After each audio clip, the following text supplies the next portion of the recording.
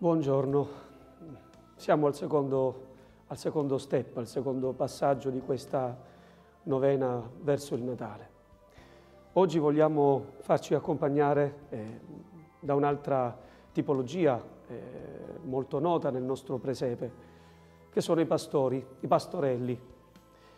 Chiaramente eh, però dobbiamo fare ehm, un atto di, di, di purificazione eh, culturale, mentale, per cui butta via l'immagine eh, dolce, eh, eh, romantica del pastorello che hai in te e guarda con realtà ciò che veramente erano i pastori al tempo di Gesù.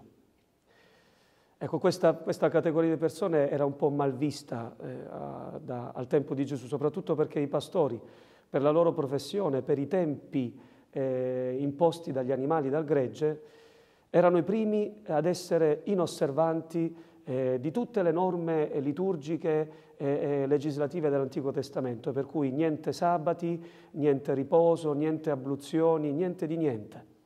Erano persone che facilmente violavano i confini territoriali perché eh, eh i campi sono il primo sostentamento della, del gregge e soprattutto erano persone anche a volte dai modi poco delicati, quando si è eh, costretti a dover difendere con i denti e non solo eh, ciò di cui si è custodi.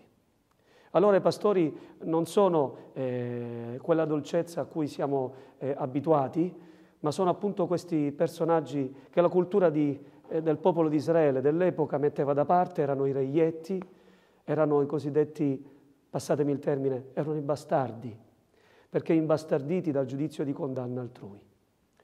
Eppure Eppure, perché con Dio c'è sempre un eppure alla logica degli uomini, gli angeli vanno dai pastori, sono i primi nell'elenco dei convocati eh, vicino alla stalla di Betlemme.